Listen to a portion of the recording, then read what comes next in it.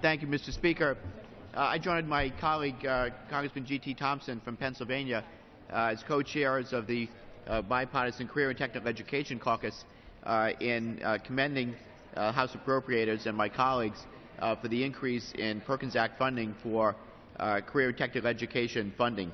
this funding is vitally important for training the next generation of workers who will enter the career and technical education fields.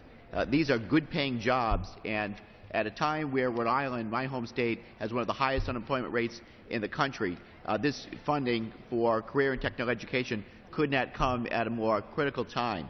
Uh, it is frustrating to see so many people out of work, and yet when you talk to businesses around our state, around the country, one of the main things that they have finding a, a real challenge is finding people with the right skills to do the jobs that are available right now.